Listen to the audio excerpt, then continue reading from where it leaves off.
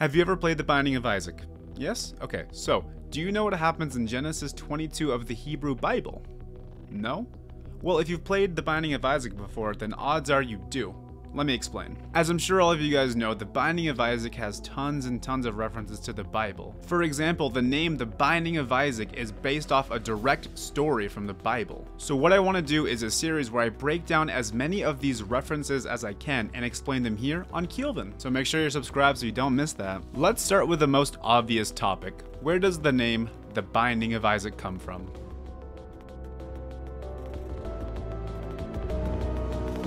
Like I said, it comes from the Hebrew Bible found in Genesis 22. And I'll explain that story for you guys right now. For all of you Isaac fans, this will sound very familiar, but if you don't see the connection right away, I'll break it all down for you after. The story starts with a married couple, Abraham and Sarah.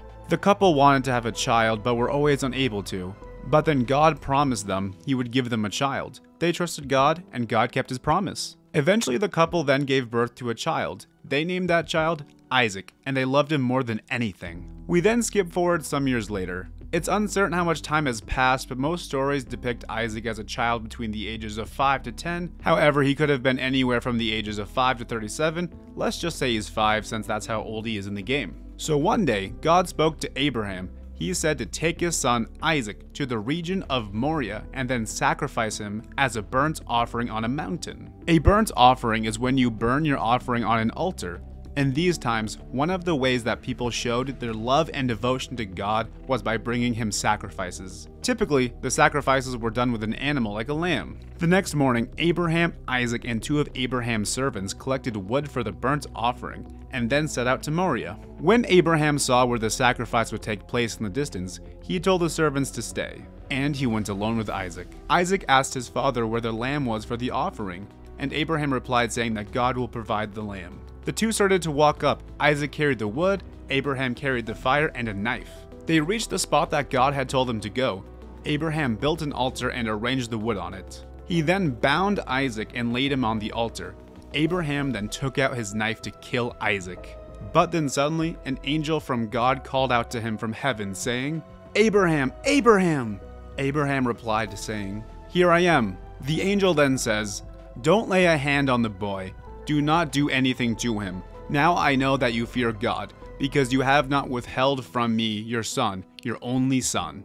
Abraham then looked up and saw a ram caught by its horns in a thicket. He then proceeded to sacrifice the goat instead of Isaac. The angel then speaks to Abraham and explains that since he has obeyed God, he will be blessed. So that should sound pretty familiar to all you Isaac fans out there. But if not, I will break it down all for you guys. But first, let's finish out Isaac's life.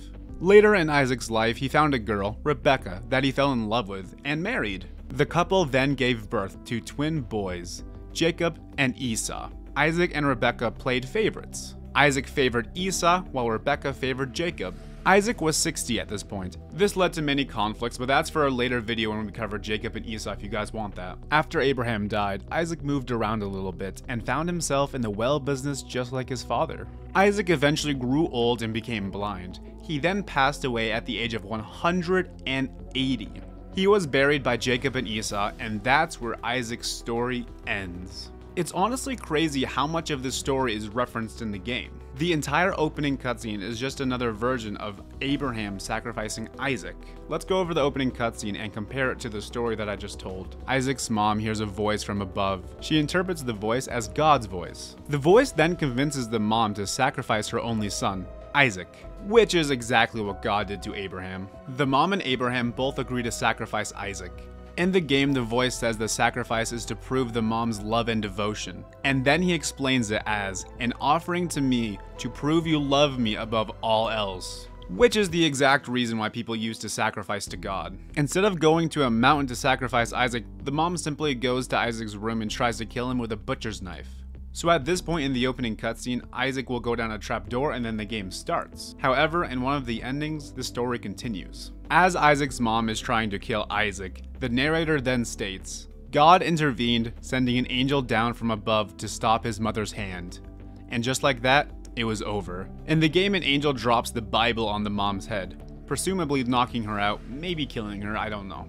But in the Bible, the angel just directly told Abraham to stop. So as you can see, the two stories are very, very similar, and that passage about Abraham and Isaac, that passage is literally referred to as the binding of Isaac. So I wouldn't be surprised if there's more connections to the story in Isaac, and maybe I'll cover them in a future video. But one thing I want to point out that isn't immediately obvious is where Isaac's mom's last name comes from. Her last name is never revealed in the game, but in the Binding of Isaac card game, Four Souls, it is. A card reveals her last name, Moriah, which is the place that God sent Abraham and Isaac to sacrifice Isaac at. Also, her initials spell out mom, but that's aside the point. I do plan to make more videos breaking down all the religious references in Isaac. So if you want to see more, subscribe so you don't miss it. This video did take a lot of work because before I didn't know a ton on this topic, so I used the three most trusted sources, Reddit, Wikipedia, and Kyle. Thank you guys. That's all I have today. If I messed anything up or whatever, just let me know in the comments. I'll try to reply to everything that I can.